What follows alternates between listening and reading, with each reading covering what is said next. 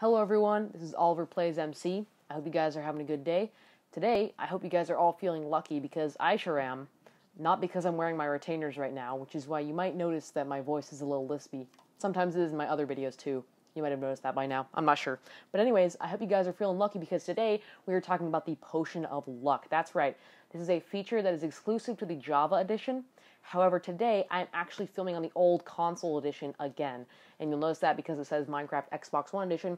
And that's because my screen recording software on my current uh, Mac d- does not work very well. It's quite laggy, as you guys might have so- seen in one of my previous videos. Um, my computer just sucks as well. So I'm going to have to figure that out in the future so that if I ever need to film on the Java edition, I have a sustainable and good way to. Um, with that out of the way, let's get right into this video about the Potion of Luck, a Java Edition exclusive that also happens to be on the console edition uh, that I have to record it on, unfortunately. But I guess it's fortunate because if you like console edition, here we are. So, yeah, the Potion of Luck. Here we go. We have a sign that says, I'm feeling lucky. I hope you're feeling lucky. And we have the Potion of Luck.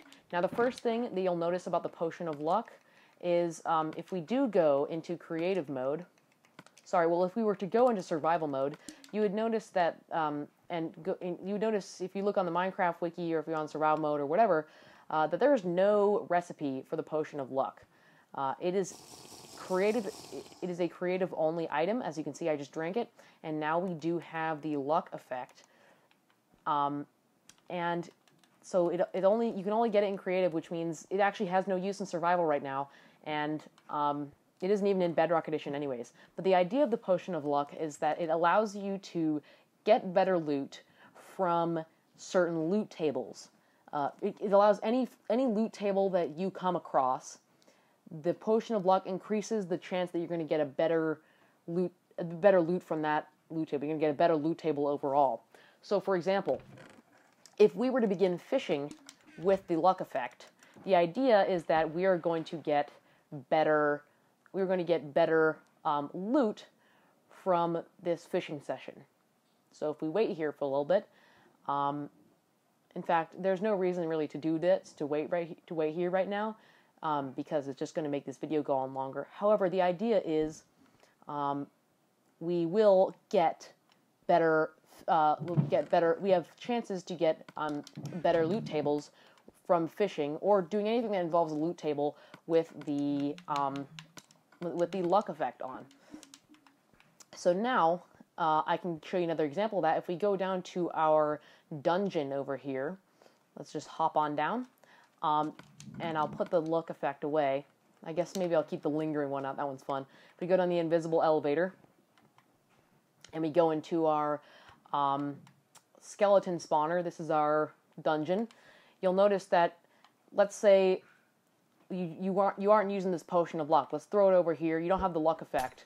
So if we were to go into uh, creative the creative inventory, and we were to grab ourselves a bucket of milk and get rid of this luck, we would not have it um, when we open this chest, and therefore we're going to get this crap. We're going to get string and sticks and gunpowder and coal from this uh, chest because we do not have the luck potion, so we just get the we just don't get as good of a loot table. However, if we walk into oh okay, looks like I've ran out of it, so I'm going to splash myself with luck.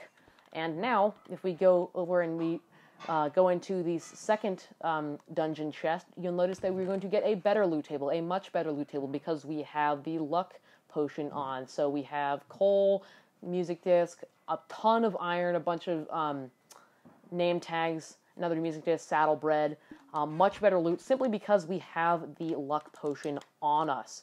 And we have the luck effect, and it is giving us a better chance of getting a better loot table than, uh, I guess, sticks and coal and gunpowder. And gunpowder, I guess, is pretty useful. They're all useful items, but uh, none of them are as good as iron or music discs or name tags. Name tags are quite valuable.